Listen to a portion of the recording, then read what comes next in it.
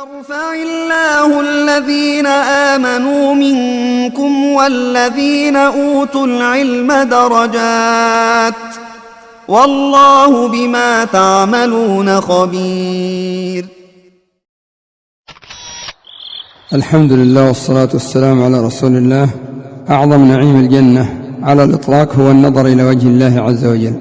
ولهذا كان النبي صلى الله عليه وسلم يقول أسألك لذة النظر إلى وجهك. فينبغي للمسلم أن يؤمن بهذا الأمر الذي أخبر الله به وأخبر به رسوله صلى الله عليه وسلم.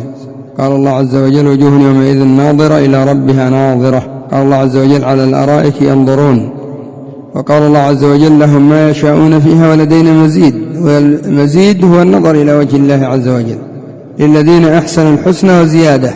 والزيادة هي النظر إلى وجه الله عز وجل في تفسير النبي صلى الله عليه وسلم وتفسير أبي بكر رضي الله عنه وتفسير المسلمين. وفي حديث النبي صلى الله عليه وسلم إنكم سترون ربكم كما ترون القمر. ليلة البدر لا تضامون في رؤيته. وكان هذا ردا على سؤالهم يا رسول الله هل نرى ربنا يوم القيامة؟ قال نعم. إنكم سترون ربكم كما ترون القمر. والحديث في الصحيحين وفي غيرهما من الكتب المسندة ولا مطعن فيه. والنبي صلى الله عليه وسلم يقول إنكم لن تروا ربكم حتى تموتوا.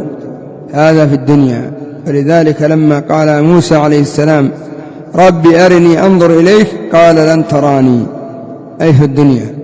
ولكن انظر إلى الجبل فإن استقر مكانه فسوف تراني. فلما تجلى ربه للجبل جعله دكا وخر موسى صعقا فينبغي لنا أن ندعو الله عز وجل أن يهيئ لنا الأعمال التي تؤدي إلى نعيم الجنة ومنها النظر إلى وجهه.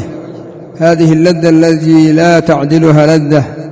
من أجلها تنافس المتنافسون وشمر المشمرون. فهو سبحانه الجميل في ذاته وصفاته وأفعاله. وأما قول الله عز وجل لا تدركه الأبصار فليس معناه أنها لا تراه يوم القيامة. ولكن يرى ولا يحاط به لأنه الواسع المجيد الكبير العظيم والله المستعان.